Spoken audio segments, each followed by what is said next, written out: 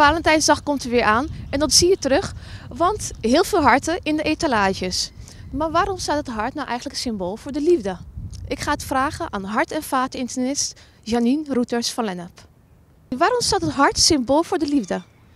Ja, dat is uh, eigenlijk niet helemaal precies bekend. Maar we weten wel dat uh, sinds de middeleeuwen, de vroege middeleeuwen, dat daar afbeeldingen te zien zijn van ridders die uh, een hart, echt ja, de hartvorm dan geven aan een, aan een jonkvrouw.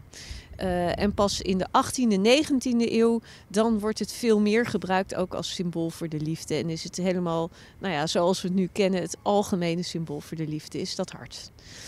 Um, ja, waarom zo'n hartvorm? Dat is uh, ook wel interessant. Uh, ze denken dat, nou ja, je hebt toch die bolletjes daarboven, dat dat symbool staat voor de vrouw, borsten of billen. Maar het kan ook zijn dat het al vorm staat voor, nou ja, het hart in je lichaam, zoals we het kennen. Ze wisten niet precies hoe het eruit zag en ze dachten, ja, misschien wel zo. Wat gebeurt er als je nou iemand heel leuk vindt of verliefd bent? Wat gebeurt er dan met je hart? Nou, wat er gebeurt is dat er in je hersenen worden er stofjes vrijgemaakt. En uh, die zorgen ervoor dat ergens anders in je lichaam, bijvoorbeeld in je bijnieren, dat daar hormonen vrijkomen. Zoals adrenaline, nou dat, dat kennen we allemaal wel. Dat is het hormoon van de spanning. Nou, in dit geval dan uh, hele positieve spanning.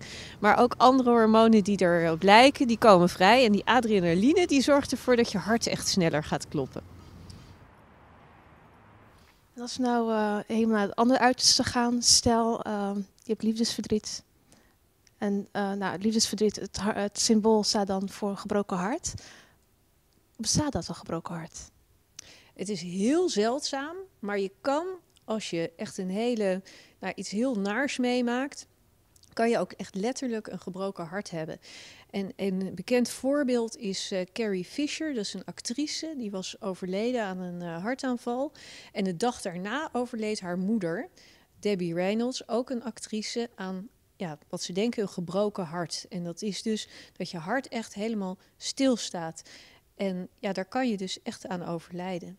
Overigens bestaat het ook andersom. Dat wordt het happy heart syndroom genoemd. Als je iets heel fijns en positiefs meemaakt, bijvoorbeeld je voetbalclub scoort in een hele belangrijke wedstrijd, dan kan je precies hetzelfde krijgen. Kan je hart ook stilstaan. Dus moeten gewoon uit de buurt blijven van al die extreme. nou ja, in het geval van de liefde moet je er vooral van genieten.